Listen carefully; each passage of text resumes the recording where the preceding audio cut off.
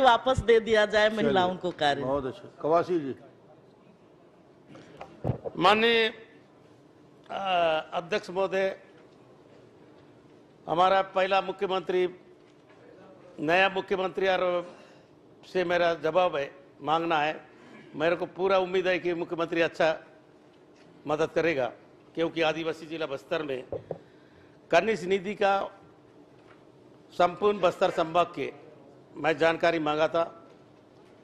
उसमें सबसे ज़्यादा हमारे विधायक अभी जो जब आप पूछा मतलब प्रदेश अध्यक्ष भी है, वहाँ से विधायक भी जीता है, एक सौ नब्बे काम निरस्त किया गया अध्यक्ष जी। हर साथ में पूरा जिला में इसी प्रकार कनिष्ठ निधि में, सभी काम दंतेवाड़ा में, बीजापुर में, कांकेर में ये किस जानकारी में निरस्त किया गया? काम अधूरा है या कम है? थोड़ा बताना की कृपा करें। माननीय मुख्यमंत्री से आपको जो निरस्त कार्यों की सूची आपने मांगी थी, जिलेवार आपने मांगी थी, बस्तर, कोंडागांव के निरस्त कार्यों की जानकारी मांगी थी, इन्होंने माननीय मंत्री जी ने इस सारी जानकारी, जो पुस्तकालय में जो जानकारी उपलब्ध है, उसमें दे दी है। उसके बाद भी यदि आपको किसी स्पेसिफिक विषय में शंका हो तो प्रश्न कर सकते हैं। लिखित में पूरा जवाब आपका आ चुका है। करीब करीब सारे जवाब। इसी में से प्रश्न करिए आप। अब प्रश्न करिए। आपके माध्यम से ये ज़्यादा नया मुख्यमंत्री है हाँ, ज़्यादा हाँ, प्रश्न प्रश्न नहीं करूँगा। प्रश्न करिए। मेरे को इतना काम निरस्त होने का एक आदिवासी जिला में बोलिए। सारे जिला में निरस्त करने का कारण क्या है? चलिए बताइए साहब। माननीय अध्यक्ष महोदय,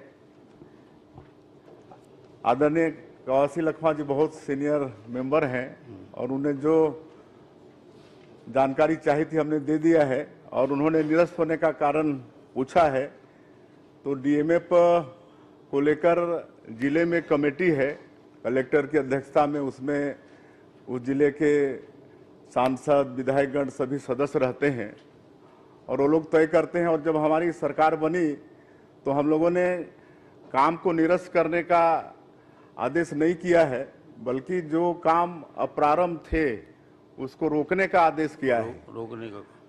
काहे कि डीएमएफ के विषय में भारी शिकायत आ रही थी पूरा बंदर बांट हो रहा था इसलिए ज़िले में जो कमेटी है उसको पावर है कि जो काम उसमें से उपयोगी है जनहित में है उसको वो चालू कर सकते हैं और जो अनावश्यक हैं जो मतलब अनावश्यक रूप से स्वीकृत किए गए हैं उसको उस कमेटी को पावर है कि उसको निरस्त करे।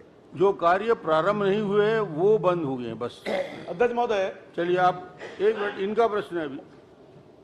माननीय मुख्यमंत्री जी मेरा छोटा सा सवाल है एक बीजापुर का बाज़ार बाउंड्री बार उसका पूरा